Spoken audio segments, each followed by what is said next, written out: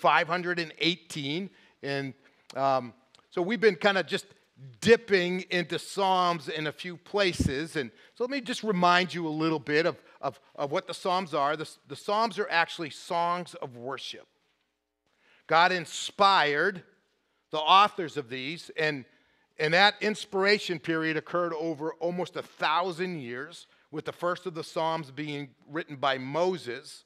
And then long, David wrote many of them, King David, and then later on, many others wrote them. And God, over a thousand years, inspired songs of worship that his people could use to celebrate him and engage in genuine, sincere, meaningful worship. And so those were collected over that thousand years, and they're kind of laid out in ours and in our Bibles in five books as it, as it went along. And and it's appropriate, I think, that in the midst of these songs of worship, God actually told us some stuff about worship. And, and let me state it this way it's, it, it, it's just this simple. That's a Lawrence phrase for those who have been around. It's just this simple. The reason why we have the book of Psalms is because worship matters. God wouldn't have given us songs of worship he wouldn't have resourced us so that we can worship Him if worship wasn't important. There is just something about the creator creature dynamic, the father child dynamic, the God and His creation dynamic that demands worship from us. And when we don't have worship, it, it, you know, it might seem like it's working, but it's just really not working. Uh, yesterday, as I got out of our meetings, I ran home and I want to cut my grass before I got gone for, for a little bit of time. And, uh, and the belt kept popping off of my mower deck. And, uh, and the frustration levels were going up and up and up. And, and you'd put it on there, and it looked perfect, and then it wouldn't work. You'd pull, you know, and, and, and there's some ways it, it, looks like our lives are put together, but when we really put the pressure on it, because we haven't really engaged in that appropriate design of worship with God. Now, I do want to get into our text today, but, but let's just revisit a definition of worship that we've used here at Hope Chapel for all of us. And, and again, defining worship is a lot like trying to define love, right? You can say lots of stuff, and at the end of the day, there's still a lot of other things you could say.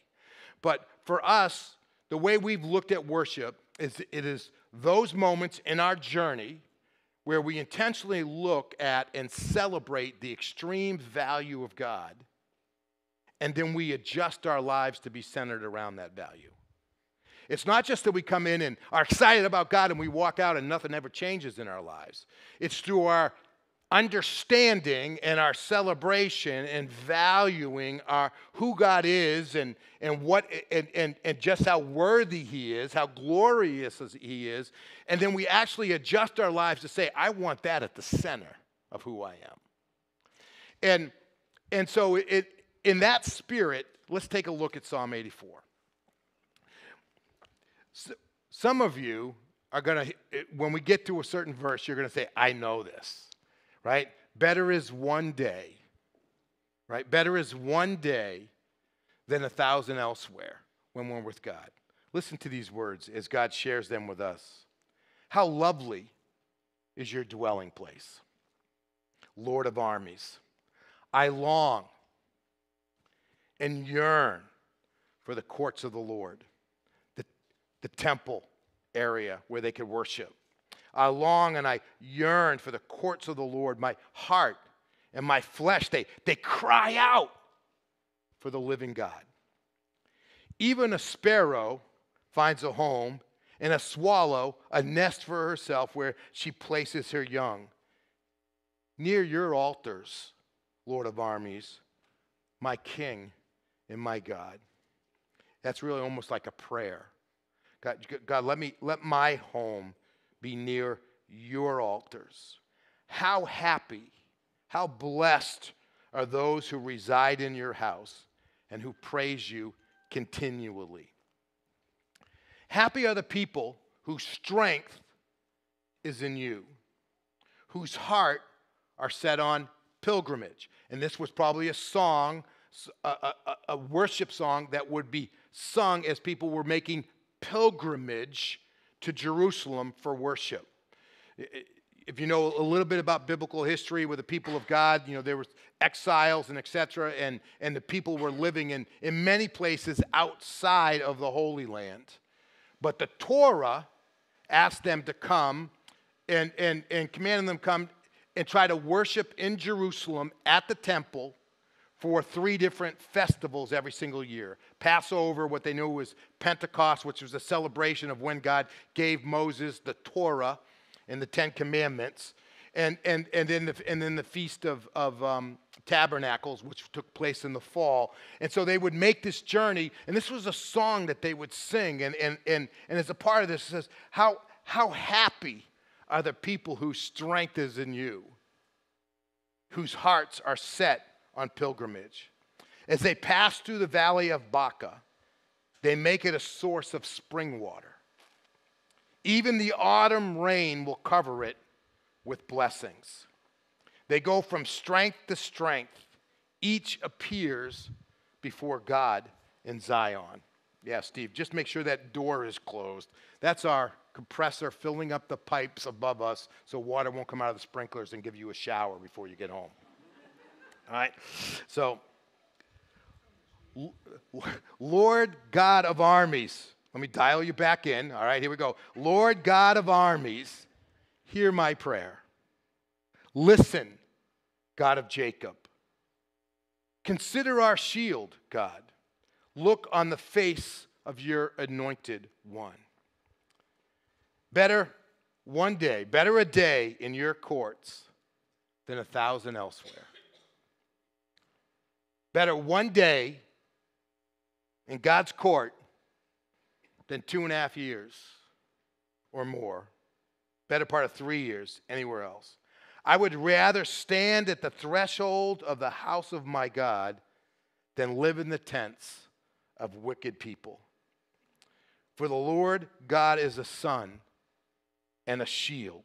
The Lord grants favor and honor. He does not withhold the good from those who live with integrity. Happy is the person who trusts in you, Lord of armies. Now, this psalm primarily talks about the benefits of worship, the blessings that come from worship. But before we go there, and that's where I want to spend some time today, that's what I've titled the message, The Benefits of Worship.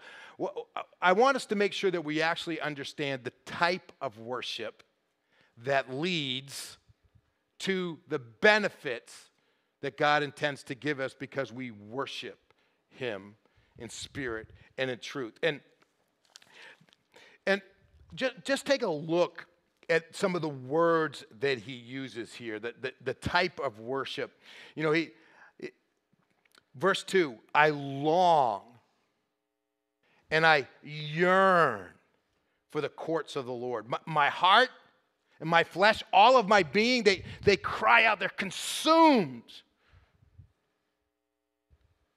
with wanting to be with the living Lord, right? It, it's, it's this idea of, uh, you know, just knowing that one day with God is better than going to a thousand days filled of championship parades.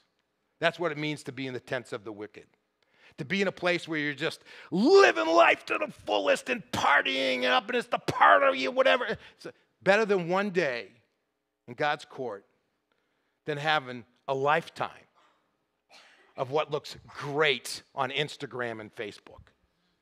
The way he puts it, right? And and so you look at all this, and, and I, I, these, these these strong words, and and the idea that comes to me, there's a couple of things that, that come to me is I think, one, one other thing I want you to see here, and I mentioned this earlier happy are the people whose strength is in whose hearts are set on pilgrimage. This isn't just something that, you know, I'll get around to it, but th- this is a consuming desire. It, your heart is set on going to a place where you can connect what kind of worship is that all about? And, and, and some of the words that kind of stand to me, uh, out to me, is one, this is, this is like having a homesickness for God.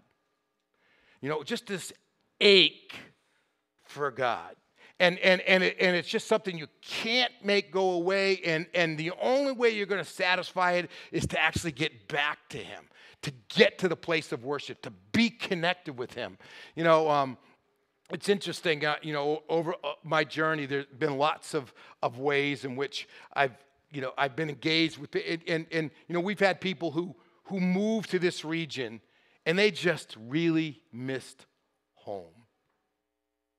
And over a period of time, they just got to a place I, I need to go back home. Christina and I, the other day, were, were picking Lawrence up at, at, at where he was staying.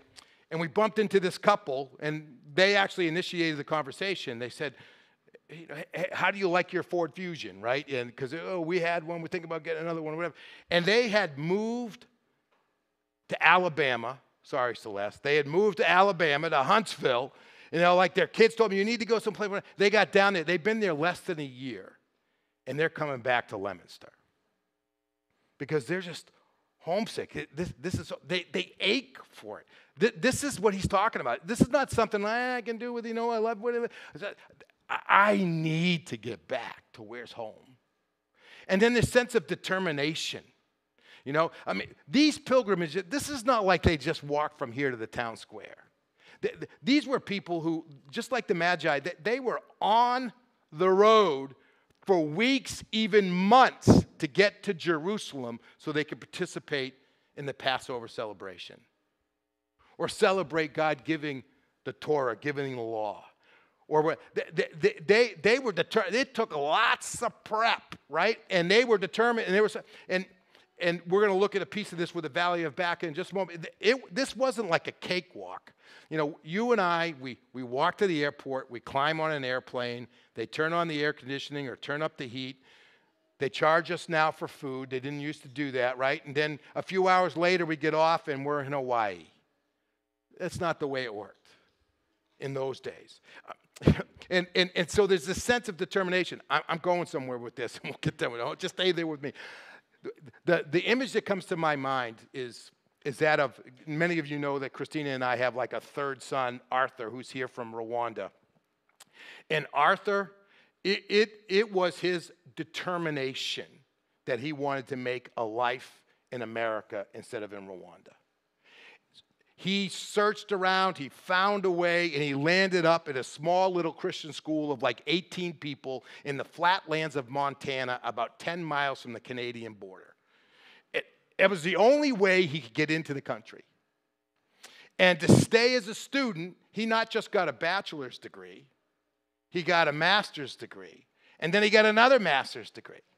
And I mean, he would do it. He, he'd, it'd start snowing. He'd go out with his shovel and start knocking on people's doors. You need uh, because he needed to make money or whatever. And and and but he was determined. I am staying here. That's just a little different than like you know the weather's going to be pretty nice today. I can go to the beach. I can catch YouTube later. I can you know and and he's determined. He's going to be here. And, and, and that's the kind of, of thing. The way I look at it is this the only way that kind of worship happens it's not an act of duty, it's an act of love. You're not here because you should be here.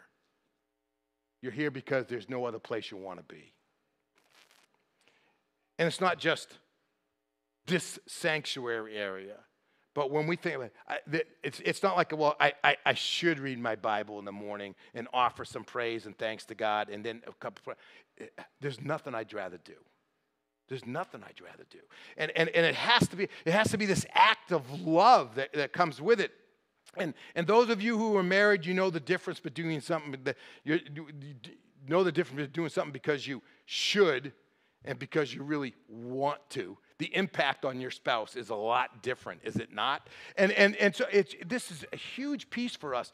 And I got to tell you, I think this is an area where a lot of us need to sit and think a little bit.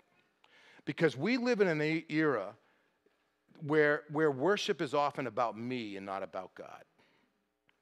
I'm here because I need to get, I, I, I, need, I need something before I start Monday.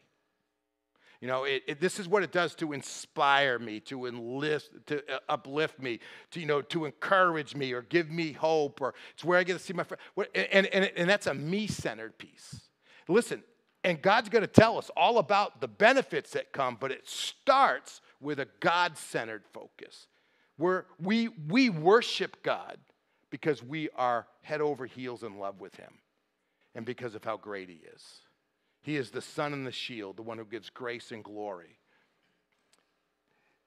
and, sh- and hands out goodness to those who live with integrity. So let's look at these blessings, all right? I got some time left, right? So I've let's take a look at this. There, there, I think there are four primary ones. And we're going to look at the verses that use the word happy, all right? Or use the word, some of your translations would use the word blessed. And the first one is verse 4. How happy are those who reside in your house, who praise you continually. The first blessing of genuine worship, worship that is, is drawn out by God, is motivated by love in our hearts, it's, it's places where we're, where we're making it all about Him. The gift that God gives us is relationship with Him. You are at home with Him. You're at a place you know you're in His presence, in His care, and He's looking over you. He uses the imagery here. You know, a, a bird finds a place where they can build a nest and it's safe. We, we have, a, we have a, a, room that's kind of built like a deck off the back of our house, and, and, and almost annually they set up, a bird set up and build a nest in an area underneath it. And so earlier this year, we had, we had a bird that came in, laid a couple eggs, see the chicks whatever. Christina looks in it again yesterday. There's four more eggs in there. The first ones are already gone. Now there's more in there. You know, they, they have a place where they can raise a family. They feel secure, protected, etc. That's the gift that we get when we worship. We, we, we know we're in relationship. We know we're in the presence of God. It's like we get to dwell in his courts and praise him, right? And and and listen, it is a marvelous thing to be able to get up in the morning, look in the mirror, and as you're shaved, thinking, what I'm seeing in the mirror, that person is a child of God. Has a little less hair than he used to.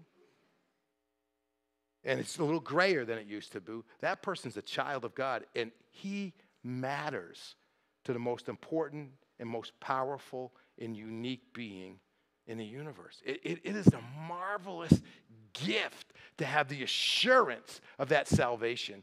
And, and, it, and it starts with faith in God. Because without faith, it's impossible to please God. It, and so he just said, you know, how happy are those who know that they are living in the presence of God? It's a gift and a joy that's given to them all the time. That's what flows to us when we worship God. We remember who He is and who He is to us and we have that gift. Here's the second thing I want you to see. Look little, just a little further down, verses 5 through 7. Happy are the people whose strength is in you. And it would be easy just to say, well, you know what, this is the, the, the, the benefit is strength. But, but he's talking about something different here. He's talking about a strength that allows us to actually transform the experiences that are going on in our lives. How do I say that from the text? Just take a look at this. You know, whose hearts are set on pilgrimage, they pass through the valley of Baca. The word Baca means tears. So they're passing through the valley of tears. The reason why it was known as the valley of tears is it was an extremely arid place and it was one of the worst stretches of the journey to Jerusalem for many of the pilgrimages. And people would get there and it was just it was arid, it was dry, there was no water, there was no, eh, no shade, no anything, and it was just, it was just a difficult stretch. It was Heartbreak Hill on the way to Jerusalem. And notice what it says here Happy are those whose strength are in you, whose hearts are set on pilgrimage, as they pass through the valley of Baca, Baca, this place where it's arid and desolate and dangerous and difficult. They make it a source of spring water. They turn it into an oasis. Even the autumn rain will cover it with blessings. They go from strength to strength. They don't, they don't get weaker, they get stronger. It doesn't wear them out, it builds them up. They go from strength to strength. They just keep getting stronger. And you know what happens? They each make it to the end of the journey. They appear before God in Zion. They finish well. And, and so, what he's saying to us is that as you and I worship God, God, the gift that God gives us is that we, we are able to transform all the experiences that are going on our journey in a way to make us stronger, fuller, more mature, and we are equipped to finish well. And we're going to finish this journey well with God. It, it, it's marvelous stuff. And, and all of us, I think, can stop and, and think about people we know who've gone through very difficult moments. And it could break people, it could make people embittered and, and, and depressed and, and, and pessimistic and all those things. And they've done just the opposite. They've gotten stronger and they're giving more. And it's, it's a marvelous piece that goes with it. it, it incredible stuff. And, and that's what he's talking about here. We, we've witnessed a little bit of this in Rwanda. You go into a church, and there's an individual there whose family was slaughtered in the genocide. And they were the first one to grant forgiveness to the genociders as they get released from prison. Powerful stuff and He makes us strong. He transforms the experiences of our lives as we worship Him in spirit and in truth. We also get the blessing of prayer. Look at verse 8. Lord God of armies, he's talking to, to the Father, hear my prayer. And this is what, listen to God of Jacob. And they, when he uses the phrase, consider our shield, God, look on the face of your anointed one, he's actually offering an intercession for the king. The king is your means of providing protection and prosperity and strength and etc for we as a people and he's offering up a prayer to him and he's saying god hear my prayer and part of the gift of worship is knowing that god actually hears our prayer And here's the way I think about it I think there's a lot of people who sit in churches like ours, and when they pray, they think they're just really, it feels much more like they're making a wish. They're, you know, it's, it's, like, it's like making your wish and blowing out your birthday candles on your cake, right? You, you hope it comes true. And that's the way that they approach prayer. But when we really genuinely worship God and we're connected with the one we know who can answer the prayers, we're not just, we're not we're not just wishing, we're praying, we're changing things. You know, Jesus put it this way He said, You know, if, if you ask anything in my name, I will do it. It's in John chapter 14, but it's in many other places in the scripture as well. And when you and I are worshiping God, we know that the prayers that we are offering are shaking up the world, shaking up our lives, and changing things for the better. And that's why James tells us that the prayer of a righteous person really changes things. And, and, and you and I, when we worship the Creator in spirit and truth, it's an act of love, not just, but and, and, and all the pieces. When we genuinely worship God, what we get is we understand that our prayers are making a difference. And, and, and we know that they're answered. Now, admittedly, they're not always answered the way we'd like to right? But we know that God is answering those prayers. And so it's the gift of that assurance of prayer. Got one last piece, and it comes out of the very last verse. Happy is the person who trusts in you, Lord of armies. I, I love that he uses that name of God. He said, Happy is the one who trusts in you, Lord of armies. When, when you and I are worshiping God in sincerity and in truth, one of the benefits that comes to us is the ability to trust God, to lean on Him, and to follow along. And, and, and it's a gift that God's trying to give us. And it's interesting. Notice what He says just before that. He says, The Lord grants favor and honor. He does not withhold the good for those who live with integrity. And, and, and, and I think he's connecting that with the word trust. Eh, because here's, here's what happens often in our lives we believe this about God, but we act this way. Do you know what I mean? We believe this about God, but we act this way.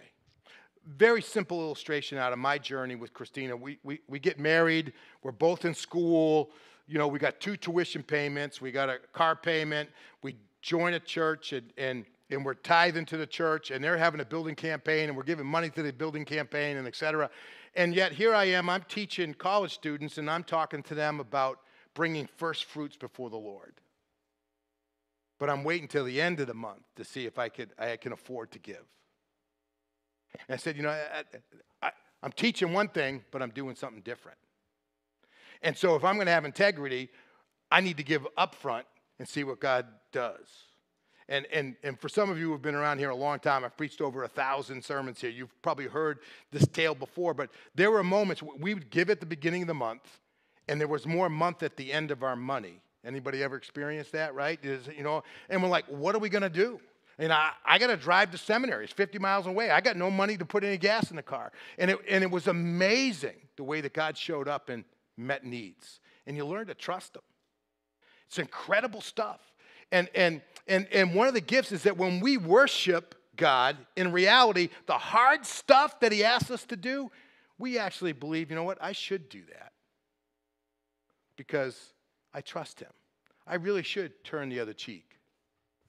I should pray for those who persecute me. And, and right on down the line. And, incredible stuff. One of the, my funny story, you know, every church, Texas churches, let's just limit to Texas churches, right? We had a lot of change going on in the church we were in and whatever. And there was a small Sunday school class of older adults who really didn't like the fact that they had their room changed and other things, and people were sitting in their seats and all that kind of stuff. And so they, they were the kind of people that, as a staff member, when it came to a Sunday morning, you tried to avoid them as they were headed towards you because you knew you were going to get an earful. And their intent was, I'm going to tell you so you can tell the pastor right? And and so there was one of those months where I, you know, we just we weren't sure how we didn't have enough money at the end of the month, and one of the, and and the like the worst guy is headed towards me, and I'm like, uh oh, you know, and I'm trying to find a way, but he had me cornered, and he and he reaches out and he shakes my hand, and when I pull it away, there's a couple hundred dollars in my hand, and part of the reaction is I can trust him. And, and, and that's what God, uh, you know, that's what God is, that's why God calls us to worship Him. Because when you and I make genuine contact with the Lord of armies, the one who, who knows it all, can do it all, has all the power, is good and loving, and is like a sun and a shield to us, to use the words of the psalmist. When you and I worship Him, you say, I can trust him with what I'm going through. And I can trust him to obey him and to walk with him. So here's, here's what the psalmist is really asking us to do really worship God. Really worship God. Because God wants to bless you by really worshiping him. Let's pray together.